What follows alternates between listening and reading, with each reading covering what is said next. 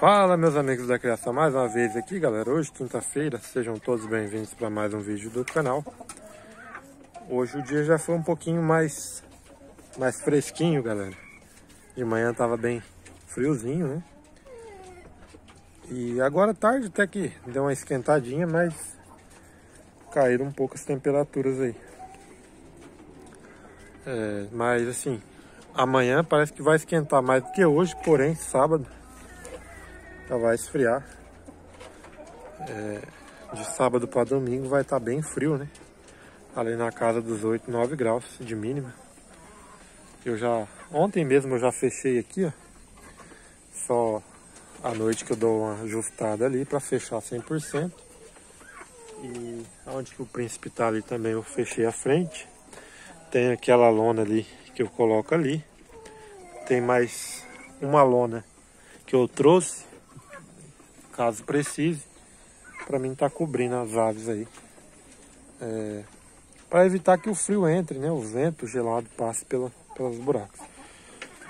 Mudando de assunto, galera, soltei as franguinhas aí pescoço pelado, aquelas três que ficavam presas.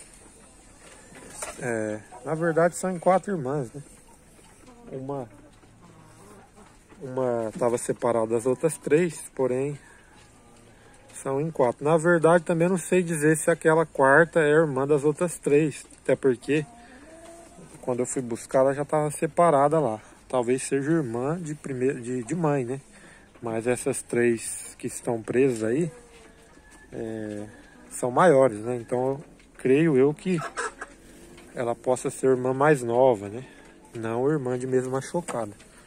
Só apenas filha, filha da mesma mãe. Essa daqui é uma das estava presa, que eu soltei, né?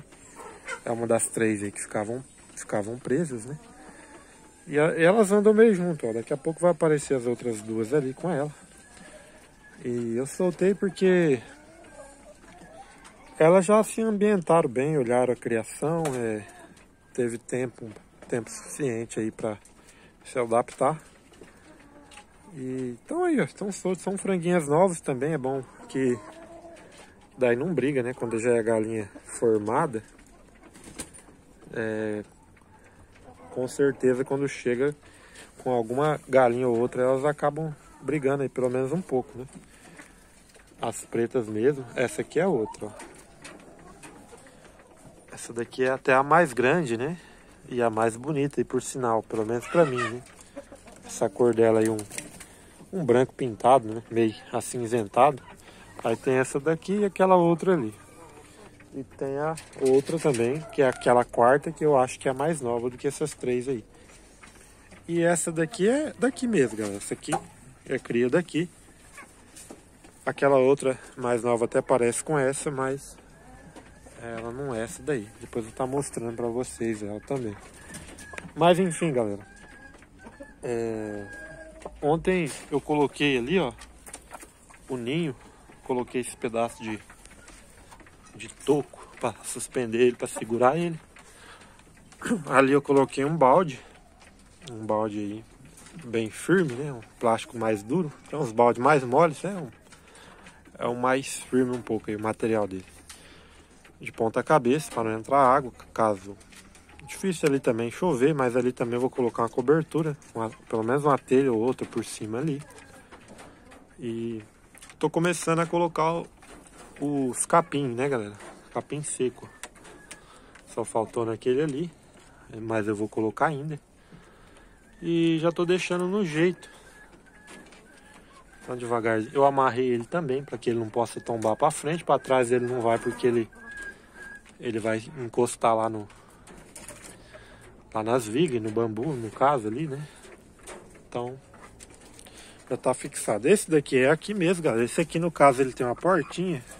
Eu já deixei assim mesmo. Caso alguma galinha bote aqui, eu vou deixar ela chocar aqui, galera. Ali não sei se vai dar.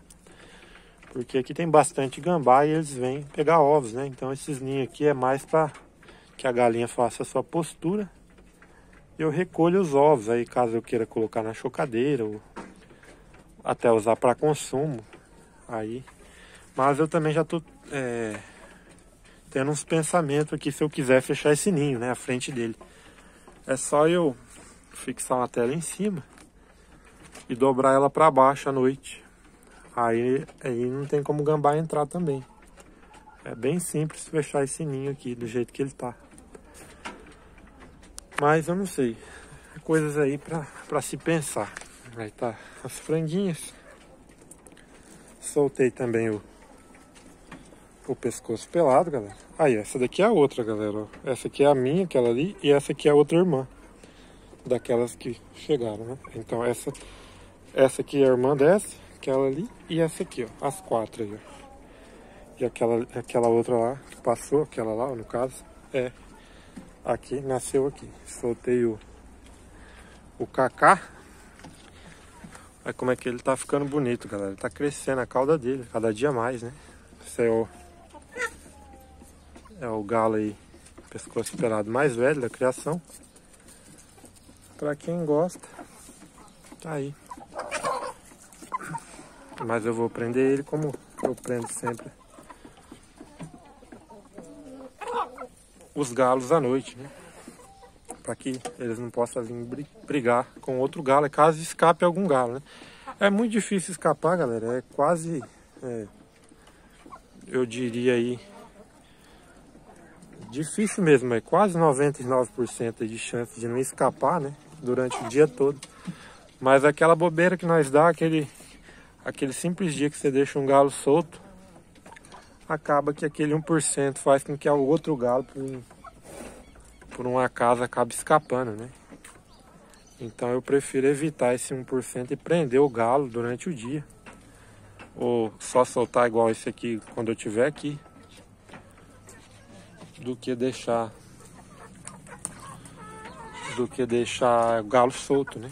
O dia inteiro aí correr o risco de escapar um galo e o galo encontrar esse outro aqui e brigarem, né? Porque daí eles vão brigar mesmo. Então por isso que eu faço desse jeito. Esse galo aqui mesmo já brigou já. Esse galo aqui, inclusive, ele ele levou um galo para outro mundo, né? Digamos assim, eu não posso muito ficar falando essas coisas. Mas essas coisas aí de escapar galo, né? O galo escapou, aí foi brigar com ele. E acabou o que aconteceu. É, só lembrando a todos também, galera, que tá, tá, chegando aqui no canal, eu não faço briga de galo. Eu crio só por gostar mesmo da, da raça, das cores, né, da beleza das aves. E o meu intuito aqui é mostrar minhas aves, né, incentivar o pessoal a criar, dar algumas dicas de vez em quando aí, alguma coisa que eu, que eu sei, né. E não é para nenhum fim comercial e outra e outras práticas, né? até porque eu não vivo disso, já falei algumas vezes, né? É só um hobby mesmo, eu, eu mostro aí pro pessoal acompanhar o, o dia a dia da criação, mas somente para isso, sem outras práticas. Também não faço venda de ovos, né? O pessoal pergunta muito. Eu já expliquei várias vezes alguns motivos, mas eu gosto sempre, tá, sempre de estar tá falando, galera porque sempre vai chegando gente nova no canal. E às vezes acabou perdendo uma explicação ou outra aí. Então eu já, já vou sempre falando, né? Então é, é mais assim para mostrar as aves mesmo. Mas enfim, galera, é, eu tô, tô colocando, como vocês viram ali também, as palhas, né? os capins secos no, nos ninhos. Lá atrás também eu vou dar uma olhada naquele ninho que eu tava mexendo e começar a ajeitar ele lá melhor para que fique no jeito. Creio eu aí, galera. Minhas galinhas aqui elas estão bem paradas, só que só lembrando também, galera, que eu não eu não dou ração de postura para minhas aves eu deixo elas botarem aí no tempo delas, né? Eu não acelero o processo. Não... Eu faço tudo é... na normalidade aí da criação, né, galera? Não, não, não acelero o processo com ração de, de postura ou coisa do tipo. Mas é, não tem nada contra quem faz isso, né, galera? É o meu jeito de criar, né? O jeito que eu faço aqui. Também não tenho nenhuma pressa de estar tá tirando as crias. Mas se eu não me falha a memória, minhas galinhas começou a botar bastante mesmo. O ano passado foi no começo de agosto. Então é coisa aí de mais um mês, mais ou menos. As galinhas já vão começar a botar muito, né?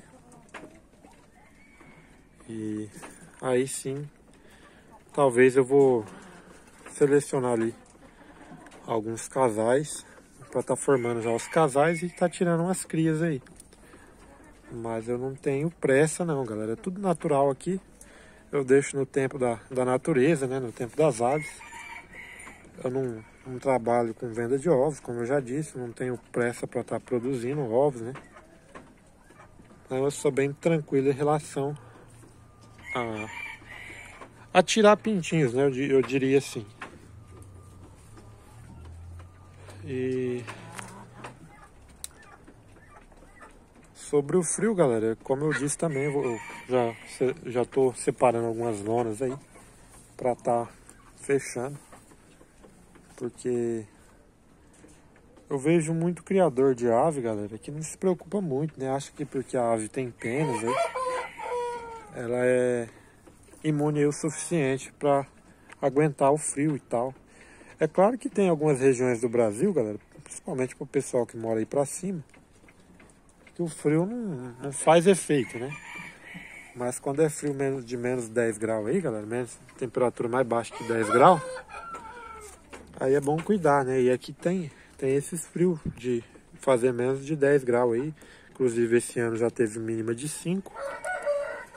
Na, na primeira ou na segunda frente fria que teve, né? Se eu não me engano.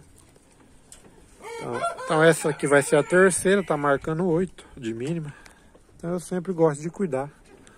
E principalmente aí dos pescoços pelados, que sente bastante o frio. Então eu eu cuido bastante, mas igual eu disse, não é não é todo mundo que faz o que eu faço, pelo menos em relação a estar tá fechando, né, galera? O pessoal é muito tranquilo em relação a isso.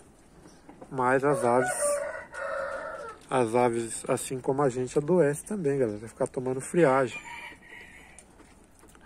Mas para quem mora na região mais quente do Brasil e para cima, né?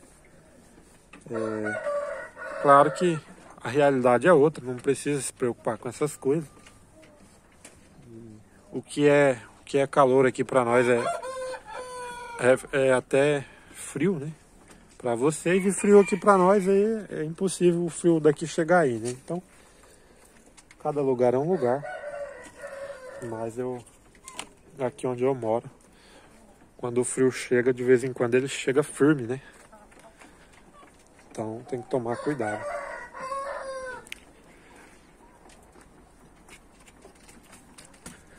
Ó, que vocês notem, galera, essa branquinha mesmo, ó.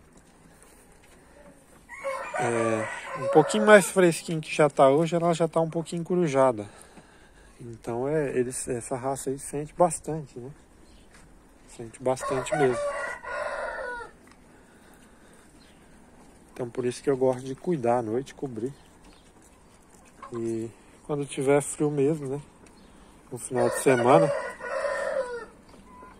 eu vou até fechar elas de novo. Vou deixar soltas por enquanto até dormir para fora, hoje e amanhã.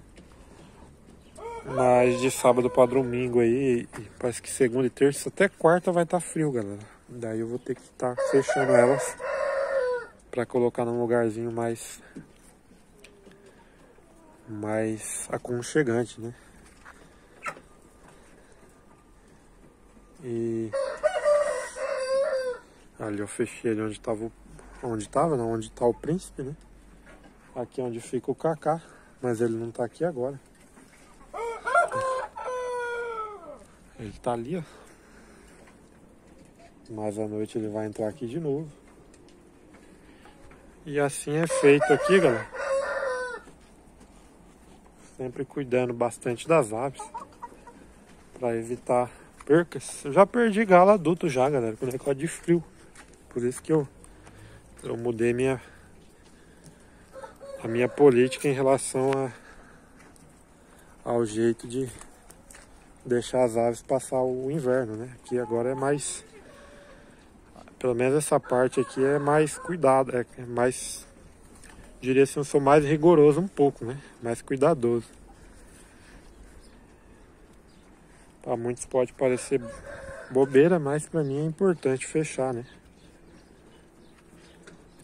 Ali também eu vou fechar. É, essa daí não vai posar aberto assim não. Essas gaiolas com tela assim, ó, passa bastante friagem. vou fechar e tal o samurai. E ali embaixo tá o cometa. O que eu puder fazer para evitar, vou fazer, galera.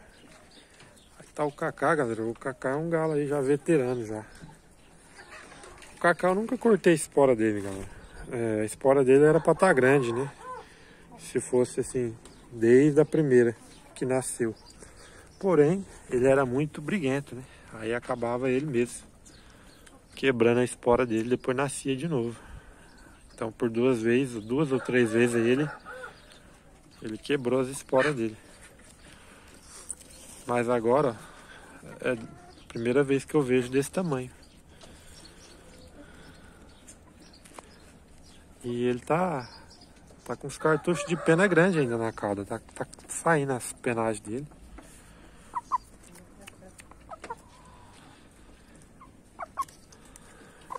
Já um galinho veterano aí. Beleza, galera? o solzinho tá brilhando ainda. Vou me despedindo por aqui. Um grande abraço a todos e até o próximo vídeo, galera.